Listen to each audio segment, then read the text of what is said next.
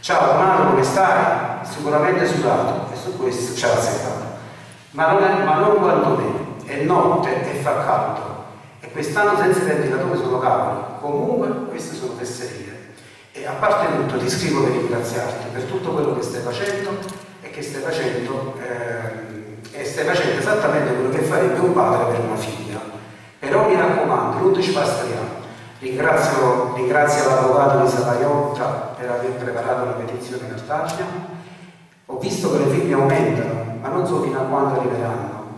Le due cause sono toste, ce ne vanno assai. Speriamo bene, mi farebbe piacere sapere se è possibile i tempi, cioè la raccolta delle firme, quanto tempo passa per avere una risposta del riconoscimento, ma soprattutto per me e per la mia causa. Quanto tempo ancora devo stare chiuso qua dentro? Dato che non penso di avere ancora molto tempo da vivere, se resto qui, la cosa che mi preoccupa è proprio questa, che non ce la faccio più a resistere. So che c'è questa conferenza, parla, parla e dici tutto Donato, soprattutto una cosa importantissima, io non mangio dal 2010, la gente deve capire che vivo sul filo del rasoio, vivo chiuso qui dentro da giugno del 2011, sepolta viva, sfido chiunque a venire dalle 15 del pomeriggio nella mia casa e a non morire soffocata senza aria. Io lo so che tu le sai queste cose, ma la gente no. La gente non capisce come può capire chi non conosce la VCS. Quindi devi dirlo e devi spiegare perché è, è così urgente.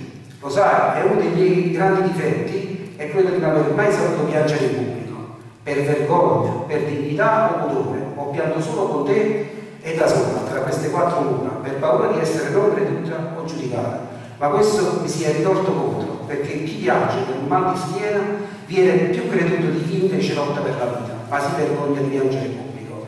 E allora, visto che tu tieni la faccia rossa, e qui ce l'ha con me chiaramente, chiama, perché poi sono di napoletano, chiama a, a tiene la faccia rossa e non da lamentare. Piangi tu per me, racconta tutta la verità, senza remore e vergogna, ringrazia Sua Eccellenza il Vescovo e digli che pregasse per me. Adesso ti saluto, vorrei dirti tante cose, magari pure farti qualche lui ha scritto, insomma alla fine questa è una lettera di Adele e dice lo so che la battaglia è dura, lo so che non è semplice, ma andate avanti e fatelo non solo per me, ma per tutti gli amanti